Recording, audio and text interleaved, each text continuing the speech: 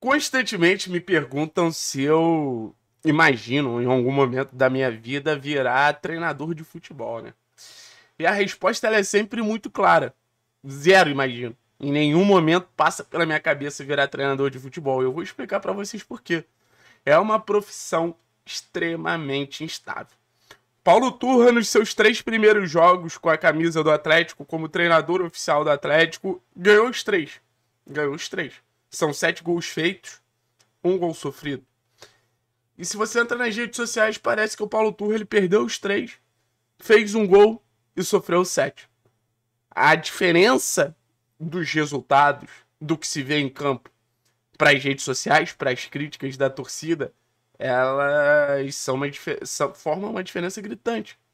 Uma diferença que mostra que o início do, do trabalho do treinador pode não estar perfeito, afinal, ninguém critica à toa. Se a crítica ela surge ali em algum momento, é porque a crítica ela tem alguma razão, a crítica ela tem alguma explicação, e até acho que realmente tem. Existem alguns pontos que esse time ele pode melhorar, mas, assim, são críticas que eu considero, pro momento e pro contexto e pro que foi entregue, críticas exageradas. A ideia que o Atlético pode jogar mais é uma ideia até correta. O Atlético ele pode entregar mais. O Atlético pode ter um jogo propositivo, o que eu não acho que esteja ligado a jogar mais. O Atlético ele pode insistir menos na bola longa. Mas isso tudo é uma opção de jogo. Isso tudo é uma maneira de se pensar o jogo. E no futebol não existe certo e não existe errado. Existe o que dá certo e o que dá errado no contexto. E por enquanto, a opção do Paulo Turra vem dando certo. Eu estava debatendo sobre eficiência e tudo mais do trabalho do Turra até aqui no grupo de membros e me perguntaram se a demonstração de força contra times menores não é um indicativo que o trabalho do Turra tá dando certo ou não tá dando certo.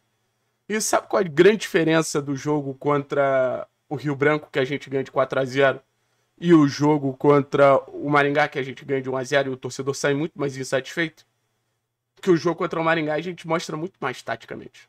Que o jogo contra o Maringá a gente mostra uma evolução muito maior. Só que o, o torcedor ele sai mais feliz do jogo contra o Rio Branco.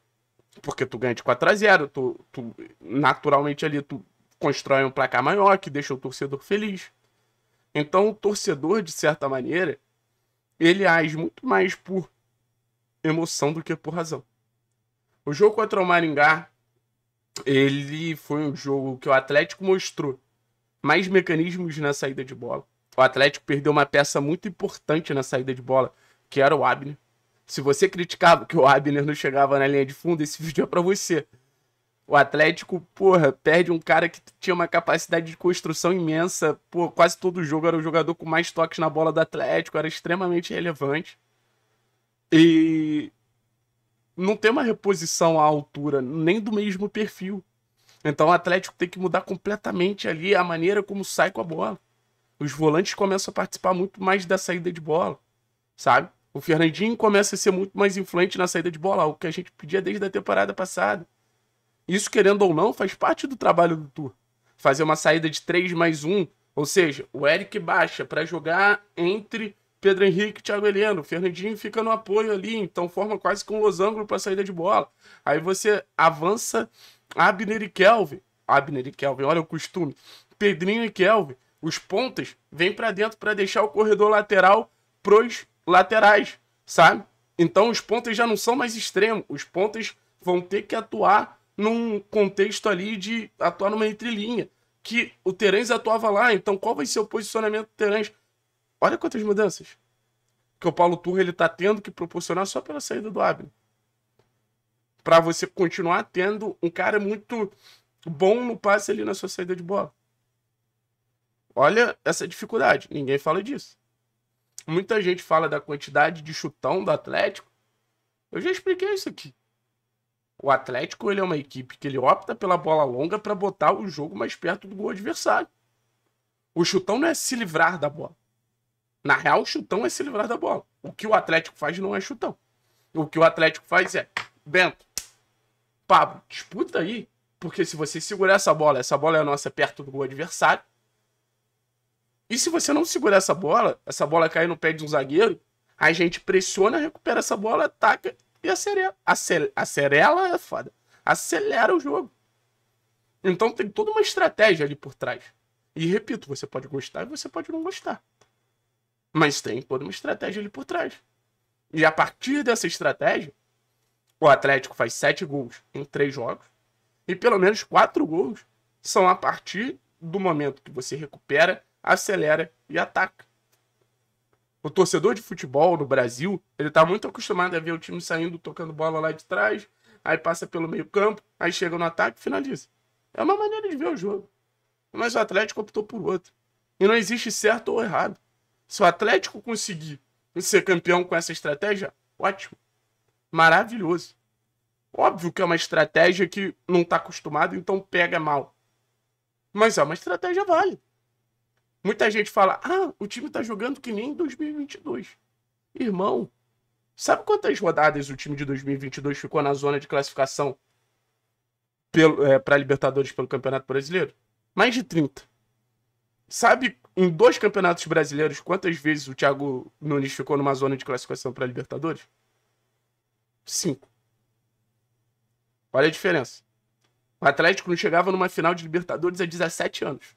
Chegou em 2022. Será que 2022 foi tão ruim assim? Será que 2022 é um exemplo negativo? Ou será que 2022 também foi uma maneira que o torcedor não concordava ali que o Atlético jogasse, e mesmo assim o Atlético jogou, mesmo assim o Atlético conseguiu os, os resultados, e em muitos momentos o Atlético jogou bem. Em muitos momentos o Atlético jogou bem. Não é aquele Atlético que perde tesão no final do ano e realmente vira um time anime. O time que jogou contra o Palmeiras jogou pra caralho. O time que jogou contra o Estudiante jogou pra caralho. O time em boa parte do Campeonato Brasileiro jogou pra caralho. Mas não é de uma maneira convencional, pô. Não é de uma maneira convencional.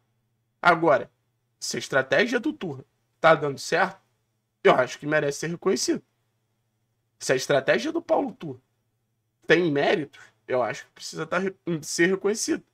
Realmente, a entrada da área do Atlético oferece muitas finalizações, precisa melhorar. Realmente, o jogo aéreo do Atlético apresenta alguns pontos de melhora, mas desde a temporada passada. E assim, se tu pega os, o, as chances que o Maringá teve na jogada aérea, todas partiram ali de uma situação que o atacante estava minimamente pressionado. Sabe? Então ali, não era um cara que estava confortável ali. Mas acho que o Atlético tem pontos de melhora. Eu só não acho que tá tudo uma tragédia. São, a gente tem três jogos. Não dá para avaliar se o Turra tem que sair ou se o Turra tem que ficar. A real é que existe um preconceito com o Paulo Turra antes dele chegar. A realidade é essa. Vocês querendo ou não. Mas se eu fosse você, eu compraria o barulho do Paulo Turra. Que é ele que pode levar a gente longe. É ele o treinador do Atlético. É ele quem define estratégias, define modelos, escolhe como o Atlético vai jogar. E vamos ser sinceros, entende muito mais de futebol que a gente. Eu ainda acho que falta um plano B. Mas como tem três jogos, eu acho que o Atlético tá aprimorando o seu plano A para ir depois desenvolver o plano B. Pelo menos essa é a minha expectativa. Se a gente chega em Libertadores, Copa do Brasil, Campeonato Brasileiro, sem esse plano B minimamente desenvolvido, vai me incomodar pra caralho. Vai me incomodar pra caralho. Mas eu acho que ainda a ordem natural das coisas é focar nesse plano A. E o plano A é: vamos botar a bola em disputa, vamos ganhar essas disputas e vamos atacar o mais rápido possível que a gente conseguir. A gente vem conseguindo fazer gols assim. A gente vem conseguindo ganhar jogos assim. Então isso precisa ser levado em consideração.